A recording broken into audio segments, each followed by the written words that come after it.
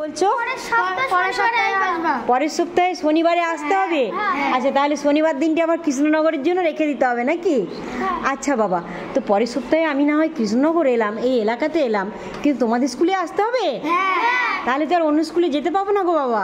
আচ্ছা ঠিক আছে, তোমাদের স্যারদের জিজ্ঞেস করে নেবেন। নিয়ে ম্যাডাম বললে আমি তোমাদের পরের সপ্তাহে আবার একদিন আসব। কেমন? হ্যাঁ ম্যাডাম ম্যাডাম বলবেন আসতে, বললে আসব। আজকে খুব হাসি হলো।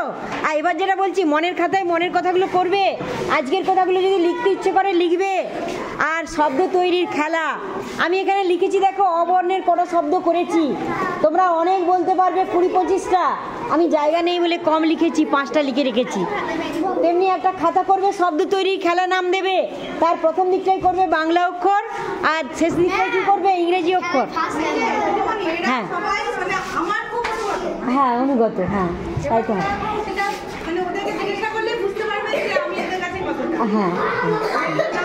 সেটা হ্যাঁ হ্যাঁ হ্যাঁ। হ্যাঁ হ্যাঁ না হ্যাঁ না না, সে তো বটে সে তো বটে হ্যাঁ।